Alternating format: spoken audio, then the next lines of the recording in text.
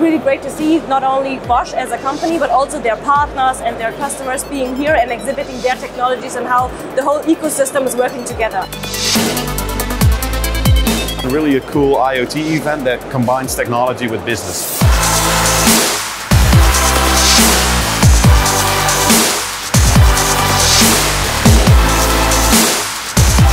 You have executives, you have managers, but you have also innovators, entrepreneurs, IoT enthusiasts. You have them all here. It's forward-looking, it's ambitious, and it's collaborative.